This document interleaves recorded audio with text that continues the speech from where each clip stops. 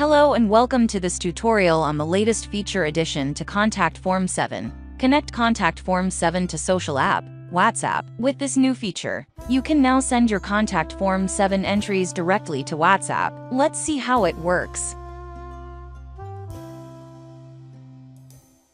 First, make sure you have the Social Contact Form plugin installed on your WordPress site, as well as the Contact Form 7 plugin.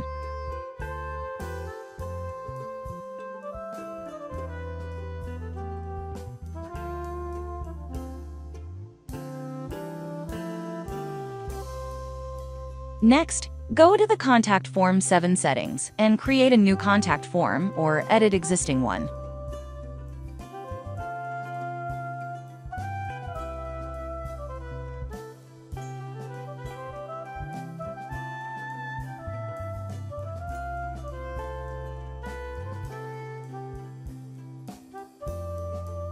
Now, click on the New Social Contact Form tab and enable the Connect WhatsApp setting. Provide the number where you want to receive the Contact Form 7 form entries. Please enter your phone number, including the country code.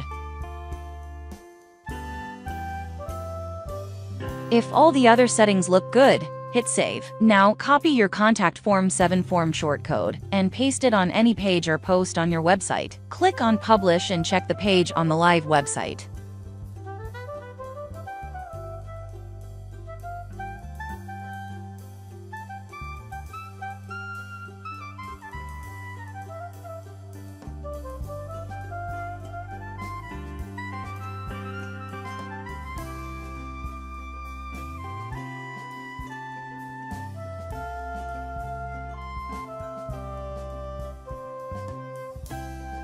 As you can see, the Contact Form 7 form is now redirecting users to WhatsApp. This means you can respond instantly and never lose potential sales.